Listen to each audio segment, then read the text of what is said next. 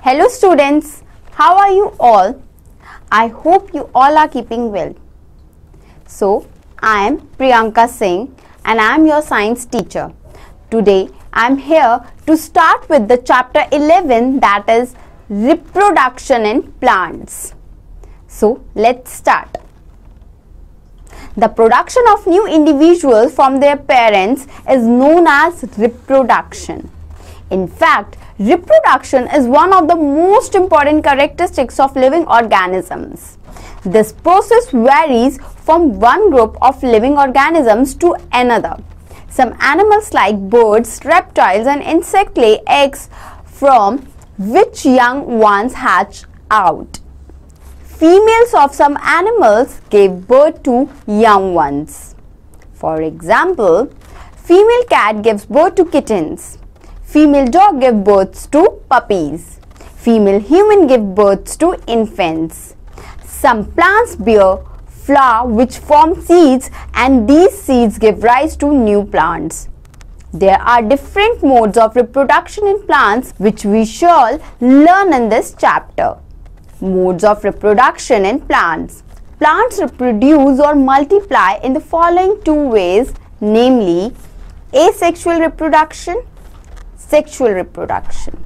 Asexual reproduction in plants. The production of new plants from a single parent without the involvement of gametes is called asexual reproduction. Since to fusion of gametes involve no seeds are formed in asexual reproduction. Thus, in asexual reproduction, new plants are obtained from single parent without the production of seeds. They are exactly identical to the parent plant. Sexual reproduction in plants. The production of new plant from the existing parent by the fusion of their gametes is called sexual reproduction. In sexual reproduction in plants, the fusion of male gametes with female gametes leads to the formation of seeds. These seeds can then germinate to form plants. So, in sexual reproduction, new plants are obtained from existing plant through seeds. Most of the flowering plants reproduce by the method of sexual reproduction. Asexual reproduction in plants. Different methods of asexual reproduction are cell fission, budding, spore formation, fragmentation, regeneration, vegetative propagation. An extra mile. Bacteria reproduce every 9.5 minutes. E. coli reproduces every 20 minutes. Cell fission, splitting of a mature cell into two or more cells of the same type is called cell fission. The splitting of a cell into more than two cells of the same type is called multiple fission. In binary fission, first the nucleus divides into two nuclei. The cytoplasm then divides into two parts, each containing a nucleus. Further stretching leads to the formation of the two daughter cells. These cells so formed grow into mature cells and then undergo similar binary fission. An extra mile. The bacteria which causes tuberculosis and leprosy reproduce very slowly. This makes an early diagnosis of these diseases difficult. It is the most common method of asexual reproduction in unicellular organisms such as bacteria and amoeba.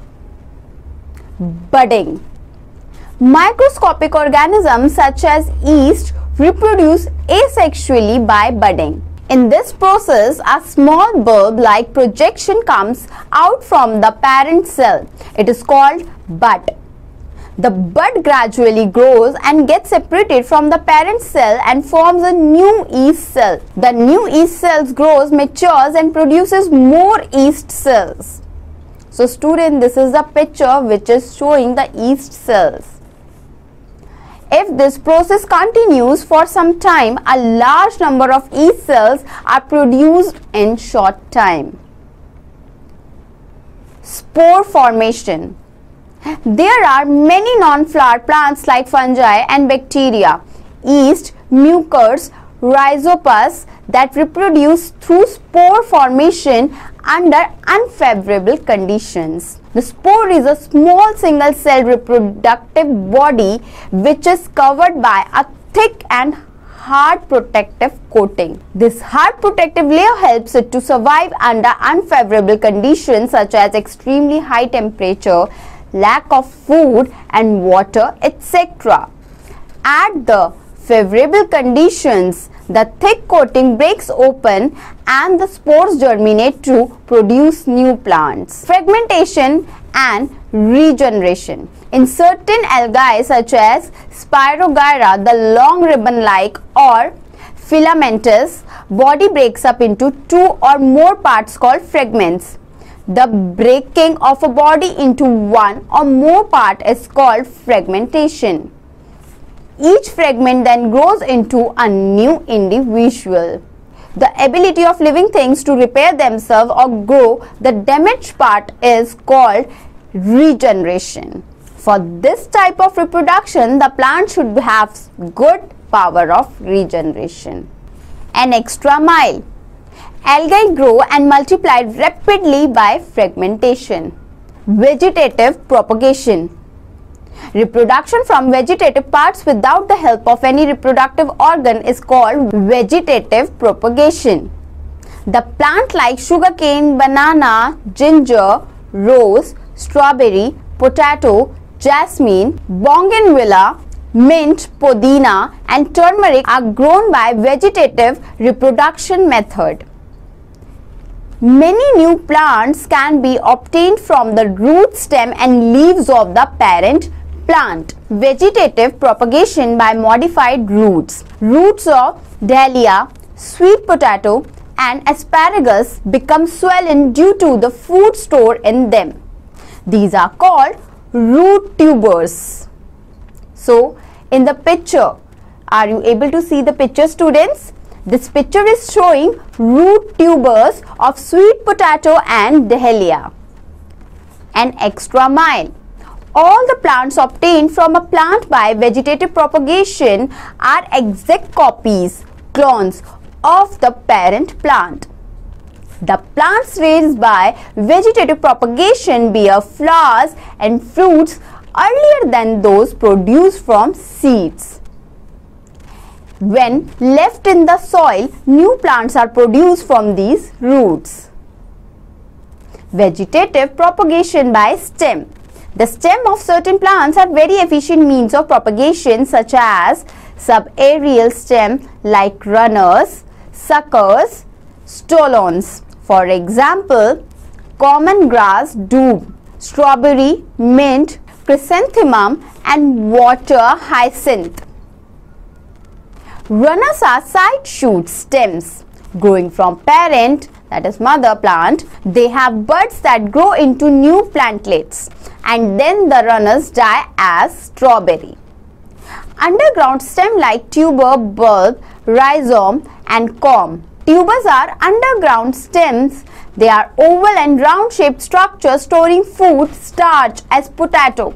Potato tubers have scaly leaves bearing the bud in their axils which are called eyes. They develop into aerial shoots. They can be seen during rainy season in the potatoes stored at your home. Bulb is a bulb-shaped structure made up of scaly leaves that store food such as in onion, garlic and lily. These bulbs have buds. Onion and garlic bulbs germinating at your house when stored during rainy season.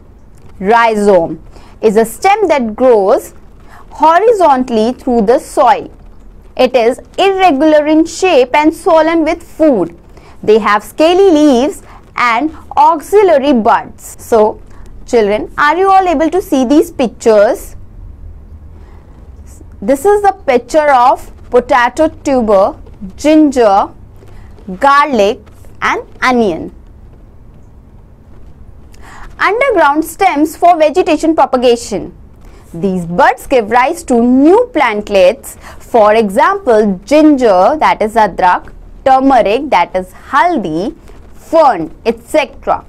Corm is a short oval thick stem and swollen with stored food. It has several buds which give rise to plants when separated and grown. Example gladiolus, colocasia, crocus, etc. Vegetative propagation by adventitious buds and leaves. Leaves of certain plants such as Bryophyllum contains adventitious buds in their notches located on the margins. These buds develop into new plant when these are grown on the soil. Artificial method of vegetative propagation. Vegetative propagation is a simple, fast and less expensive method of plant propagation. It is therefore commonly used in horticulture and agriculture. The techniques used are stem cutting, layering grafting and tissue culture. Stem cutting. In this method, cutting off a healthy young branch of a plant having leaf buds is planted in the moist soil. Cutting develops roots and grows into a new plant. This method is used to propagate plants like, like bougainvillea, chameli, rose and sugar cane. An extra mile. Plants with fleshy stems such as cacti produce new plants fall on the ground. Layering. In this method, a lower branch of the plant is bent to the ground and covered with moist soil. After some time, roots sprout out from the branch and produce new plantlets. These plantlets are separated from the parent plant and made to grow as new plant. Jasmine, bougainvillea, etc. can be propagated by this method. Grafting. Grafting is a common method used in horticulture to develop new varieties of ornamental plants and fruit trees. In this method, a bud or cutting with buds of one plant called the scion is kept over the cut stem of a rooted plant called the stock. The scion and the stock are then firmly tied together. The care is to be taken that stock has an extensive root system under the soil. After some time, the tissues of the stock and scion join together to form one plant. The stock supplies the essential nutrients to the scion. Grafting is a common method to develop new varieties of rose, guava, mango, lemon and orange. An extra mile. The cutting of the desired plant is called scion and the rooted plant into which scion has been fixed is known as stock. Advantages of grafting. Plants, flowers and fruits of desired quality can be obtained. New varieties can be developed. Plants which cannot be grown by cutting from seeds can be developed quickly by grafting. Tissue culture. In this method, a small piece of tissue is cut off from the top of a plant. This is then placed in an artificial nutrient medium containing hormones under aseptic, that is, free from any infection conditions. The piece of tissue grows into an unorganized and undifferentiated mass of tissue called callus. The callus is then transferred to another nutrient medium containing plant hormones when it multiplies and differentiate into small plantlets. These plantlets are then transferred to moist soil for further growth. Orchids, chrysanthemum, asparagus and many other plants can now be grown by this method. Advantages of vegetative propagation. Vegetative propagation is rapid, easy and cheap method of plant propagation. Such plants take less time to grow. They bear flowers and fruits early. The new plants are exact copies of the parent plant. It produces a large number of plants in a short time. Plants like banana, seedless grapes, rose, pineapples and dahlias which do not produce seeds can only be grown vegetatively. Disadvantages of vegetative propagation. By vegetative propagation, plants lose their reproductive power after a few generations. Due to loss of power to fight diseases, they are prone to infection. Plants become overcrowded at one place and face the lack of nutrients. So students, this is the picture of vertical section of a flower. Sexual reproduction. The process of reproduction in which both parent and sex cells are involved known as sexual reproduction. In this process, new plants are obtained from seeds. It has following characteristic. 1. Both parent, male and female are involved. Second, sex cell gametes are involved in this process of reproduction. Third, the reproduction is comparatively slower than asexual reproduction. Sexual reproduction in flowering plants. The plants that bear flowers during their life cycle are called flowering plants. In such plants, sexual reproduction takes place due to the flower. Hence, the reproductive part of the plant is a flower. It is a specialized shoot with limited growth. Flower, the reproductive part of a plant. A typical flower has four whorls such as a flower is said to be complete flower. A flower without any one or more than four whorls is called incomplete flower. These whorls are arranged one above the other. A flower having both male and female parts is called bisexual or hermaphrodite. For example, petunia, mustard, rose, China rose that is hibiscus, etc. Unisexual flower is one that has one part, either male or female. For example, corn, cucumber, papaya, etc. It may be present on same plant or on different plants. The male reproductive part of a flower stamen. Stamen is the male reproductive organ of the plant. It has two parts a filament and an anther. The stalk of stamen is called filament and the swollen top of stamen is called anther that contains the pollen grains. Pollen grains contains the male gametes. Pollen grains appear to be yellow powder to us. The female reproductive part of a flower, pistil, pistil is the female reproductive organ of the plant. It is made up of three parts stigma, style and ovary. The top sticky part of pistil is called stigma. The middle part of the pistil is called style. Style is a tube which connects stigma to the ovary. The swollen part at the bottom of pistil is called ovary. The ovary contains ovules. Ovules produce female gametes each ovule contains only one female gamete called egg. Mechanism of sexual reproduction in plants. The sexual reproduction in plants proceed through the following steps. Pollination. Pollination involves transfer of pollen grains from anther of the stamen to stigma of the pistil. Fertilization. During fertilization, the male and female gametes unite to form a zygote. Formation of seed. Here, the zygote develops into a seed. Germination of seed.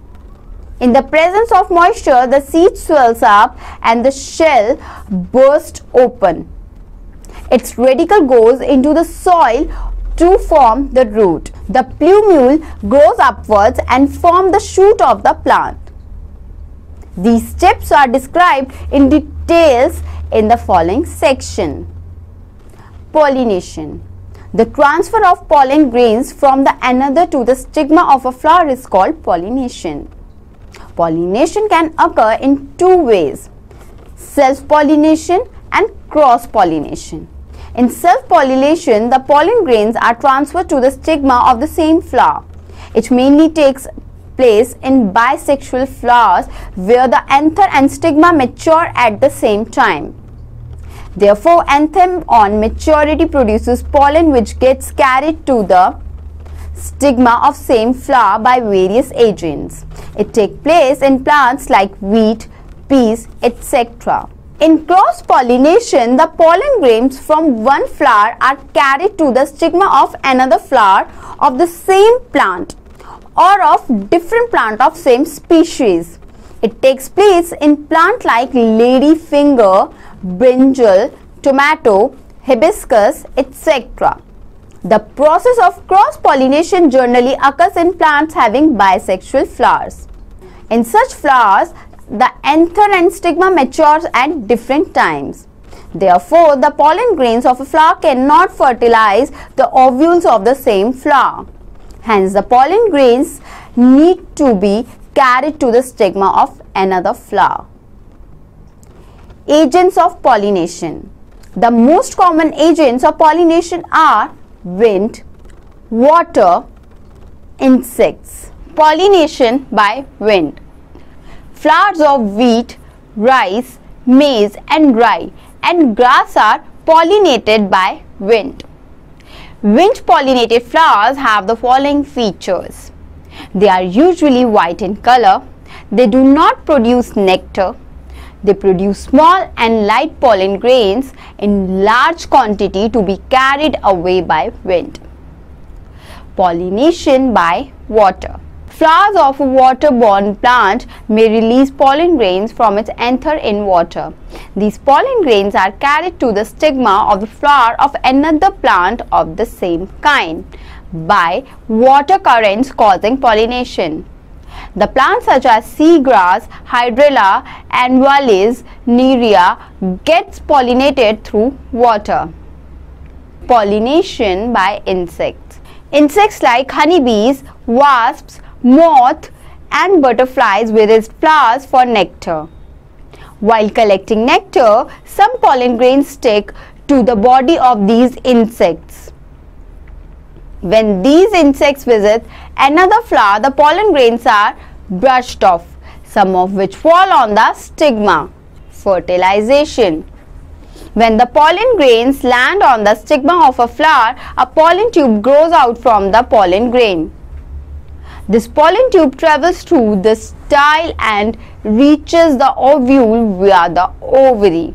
Two male gametes from the pollen grain then travel down the pollen tube. After reaching the ovule, one male gamete unites with the female gamete to form a zygote is called fertilization. The zygote is single-celled which divides many times to form an embryo. The second male gametes fuses with another cell in the ovule to form the endosperm. This provides nourishment to the growing embryo. Formation of seed. After the fertilization, the petal stamen, style and stigma of the flower falls off. The sepal dries up and holds on the ovule. Only the ovary remains. It contains the fertilized ovule. Each fertilized ovule contains a zygote. The zygote then begins to divide and form an embryo. Embryo contains one or two cotyledons which store food for future. The fertilized and developed ovule containing embryo is called a seed. Formation of fruit. With time, the seed hardens and dries. The ovary wall may harden and become a pod as in poppy or it may become fleshy and succulent as in plums or tomatoes. The whole ovary after fertilization grows to form the fruit. Germination of seeds. Most of the seeds do not germinate immediately after their formation. They remain dormant, reset, sleep for some time. They begin to grow only under favorable conditions. The seeds must get moisture and oxygen. Most seeds need warmth as well. When all the conditions are favorable, germination begins. The emerging out of a seeding from a seed is called germination. Various stages of seed germination. Intake of water by seed. When the seed are sown in the soil, they absorb water from the soil. This intake of water helps the enzymes to become active in seeds. The enzymes digest the stored food in cotyledons and make it soluble. The soluble food then diffuses into embryo, radicle and plumule. It allows them to grow. Growth of radicle. The radicle grows first and comes out of the seed. It grows into the soil. It begins to absorb water and minerals from the soil. Growth of plumule. The plumule grows later. It becomes out of the seed and grows upward into the shoot and leaves. Till now, the embryo depends on the reserve food stored in the cotyledons. After germination and formation of seedling, it photosynthesizes is 1. Radicle forms root system and plumule forms shoot system. Gradually, the seedling grows into a plant after some time. A plant may form a tree after a year or so depending upon the type of seedling. Artificial pollination. The population on the earth is increasing. As a result, we require more food. The land area on the earth is limited. So the only way to increase crop production is to develop better quality seeds crops. The improvement in the quality of seeds or crops is done by the process of hybridization or artificial pollination. Artificial pollination is carried out as follow. First, select flowering plants with the desired characteristics. Second, remove pollen grains from the ripe anthers of a plant. Third, disperse or spread these pollen grains on the mature stigma of the other plant. Fourth, cover the pollinated flowers with the polythene bags until bulbs or seeds are produced. The pollinated flowers are covered with the polythene bags to prevent pollination by other sources. Fifth, the seeds are collected, kept safely and are sown in the next season. Sixth, the plants so obtained are hybrid of the plants taken for pollination earlier. The whole process of producing better seeds or crops from the existing plants or seeds is called hybridization. The hybrid seeds are high yielding disease resistant and or of short duration. Dispersal of seeds the scattering of seeds over a large area away from the mother plant by the agents of dispersal is called the dispersal of seeds. Seed dispersal is beneficial to the plants because it provides the following advantages to the plants. First, seeds dispersal prevents overcrowding of plant in an area. Second, seeds dispersal prevents the competition for water, minerals and sunlight among the same kind of plants. Third, seed dispersal helps the plants to grow in new places or new areas. Let us study how various types of seeds are dispersed by different agents of dispersal. Dispersal by wind. Some seed dispersal by wind have wings that act like gliders as in the drumstick seeds and maple seeds. Some seeds have tuft of hair that act like parachute as in cotton, dandelion and the madar seeds. Dispersal by water. The seeds and fruits of plants which grow in water or near it are dispersed by water. Fruits that are dispersed by water have spongy or fibrous waterproof outer coats. Example, coconut and lotus. Dispersal by animals. Certain seeds are dispersed to far off places by certain animals. They can be carried by various means. For example, some fruits develop hooks on their surface by which they get attached to the fur of animals and carried away the distant places before they are rubbed off from their bodies and falls to the ground. The fruits of gokuru, xanthium and urena are dispersed by animals due to their hooked surface. Sometimes animals eat seeds along with the fruits. These seeds remain undigested and pass out with feces at some other distant place. So it's time for Reader's Digest. The production of new individuals from their parents is known as reproduction. Plants reproduce in two ways, asexual or sexual. Splitting of a mature cell into two or more cells of the same type is called cell fission. Reproduction from vegetative parts without the help of any reproductive organ is called vegetative productive organ of the plant. The most common agents of pollination are wind, water and insects. The improvement in the quality of seeds or crops is done by the process of hybridization or artificial pollination. So students, it's time to take your leave. So bye. We'll meet in the next session.